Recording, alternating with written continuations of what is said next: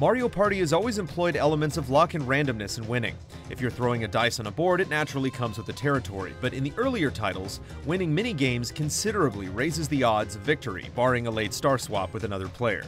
Earlier Mario Party games not only grant coins to purchase helpful items and stars, but the end game bonuses actually reward skillful play. Unfortunately, Mario Party 10 drastically cuts back on mini-games, making you a passive observer instead of an active participant.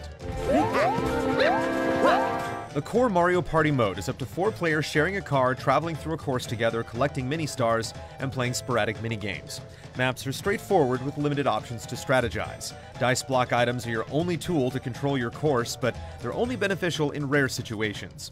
Mini-stars appear randomly, so collecting them is a matter of pure luck. The cardinal sin, however, is that to play a minigame, you have to land on a designated space. It's possible to only play a few minigames each match, relegating the entire game to hitting the dice block and hoping it's your turn when mini stars appear.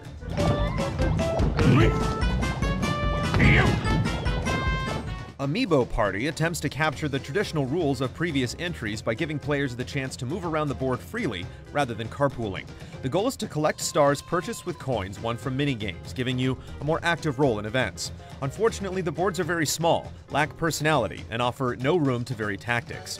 The simple act of rolling dice is mind-numbing and requires each amiibo to be constantly shuffled on and off the gamepad. While it's nice that each minigame becomes more meaningful, each turn is far too tedious.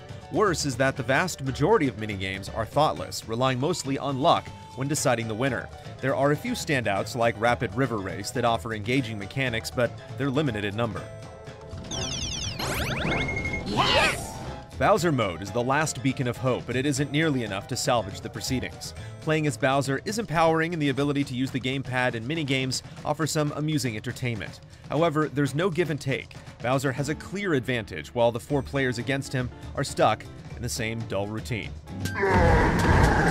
In addition to the three core modes, there are a handful of minigame options. Badminton conjures memories of Mario Tennis, and Jewel Drop appeals to the puzzle sensibilities of Tetris. There's also a minigame tournament with up to 8 players, but none of these modes offer enough excitement or reason to come back.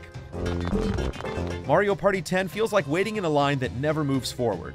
It's completely possible to go through an entire match as a passive observer and still win first place.